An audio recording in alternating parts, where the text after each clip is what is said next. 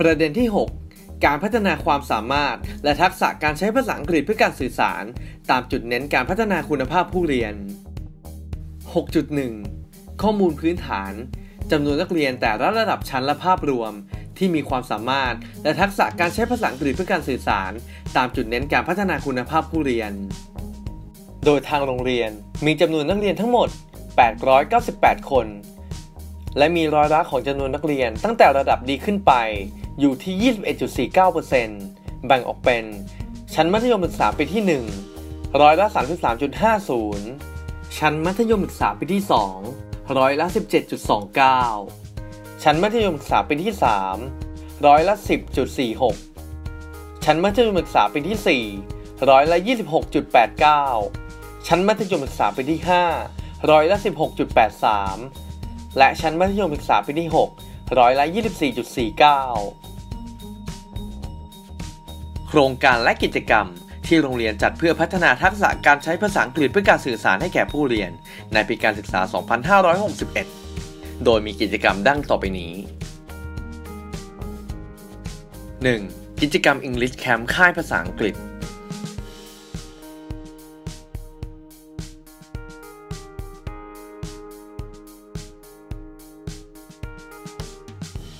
2. กิจกรรม English on Air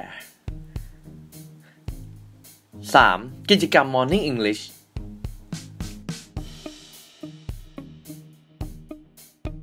4. การให้นักเรียนไปสัมภาษณ์ชาวต่างชาติตามสถานที่ท่องเที่ยวต่างๆ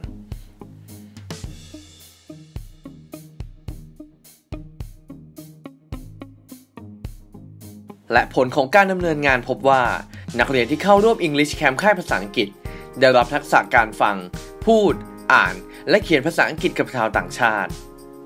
และนักเรียนมีความมั่นใจในการใช้ภาษาอังกฤษเพื่อการสื่อสารมากขึ้น 5. กิจกรรมการจัดป้ายนิเทศ 6. คณะกรรมการนักเรียนใช้คำสั่งเป็นภาษาอังกฤษในการเข้าแถวตอนเช้า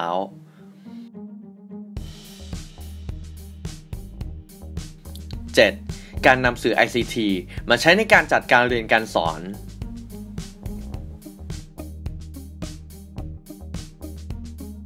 8. การจัดทำป้ายบอกสถานที่ต่างๆ ในโรงเรียนเป็นภาษาอังกฤษ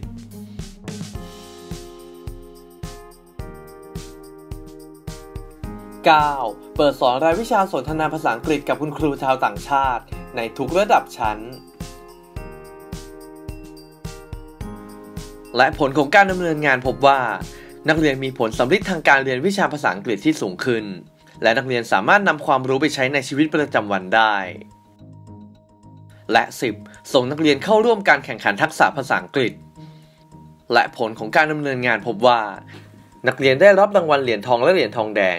จากการแข่งขันเล่านิทานภาษาอังกฤษ Storytelling ระดับชั้นมัธยมศึกษาตอนต้น และชั้นมัธยมศึกษาตอนปลาย และได้รับเหรียญเงินจากการแข่งขันต่อคำศัพท์ภาษาอังกฤษ Scotword ในระดับเขตพื้นที่การศึกษา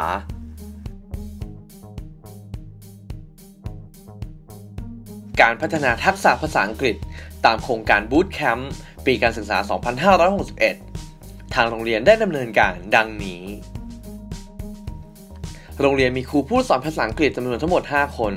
โดยทุกคนผ่านการอบรมบูตแคมป์ในระดับภูมิภาค และสามารถนำเทคนิคการเรียนการสอนภาษาอังกฤษ ไปใช้ในการจัดการเรียนรู้ โดยครูปรับเปลี่ยนวิธีการเรียนการสอน โดยใช้ทักษะกระบวนการที่หลากหลาย เช่น การใช้เกม เพลง และเรื่องที่น่าสนใจจาก YouTube โดยนักเรียนมีความสุขในการเรียน การใช้ภาษาอังกฤษในการสนทนาโต้ตอบมากขึ้น 2. การจัดสภาพแวดล้อมภายในและภายนอกห้องเรียน เพื่อส่งเสริมการเรียนรู้ภาษาอังกฤษของผู้เรียน โดยภายในห้องเรียนก็จะมีสื่อ อุปกรณ์ ป้ายนิเทศภายในห้องเรียน และภายนอกห้องเรียน จะมีป้ายบอกสถานที่ต่างๆ ในโรงเรียนเป็นภาษาอังกฤษ และมีป้ายนิเทศ ซึ่งจะทำให้มีสภาพแวดล้อมที่เอื้อต่อการเรียนรู้ภาษาอังกฤษภายในโรงเรียนที่มากยิ่งขึ้นและ 3. โรงเรียนมีนวัตกรรม จุดแข็ง ความโดดเด่น ที่เป็นต้นแบบและแบบอย่างที่ดีในการดำเนินงานตามนโยบายต่างๆ เช่น การกิจกรรม English Camp English on Air เป็นประจำทุกปีการศึกษา